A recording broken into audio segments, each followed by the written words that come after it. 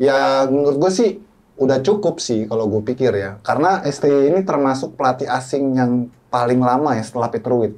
Iya iya Hmm, betul betul. iya, iya. Jadi ya ketika itu Peter Witt juga fail juga setelah sukses bawa Thailand juara. Iya. Ya, Apa di terus SEA Games cuma ya, terus berakhir ya. sebagai runner up. Iya. Ya, ke- terus dia dikontrak ke kita gitu, ya nggak nggak hasil juga. Dan sekarang juga dengan eh, CV-nya yang luar biasa, ketika itu bisa me- apa membawa Korea mengalahkan Jerman. Jerman gitu kan, begitu ke sini ya sama juga gitu. Ternyata persoalannya bukan di pelatih kayaknya. Iya.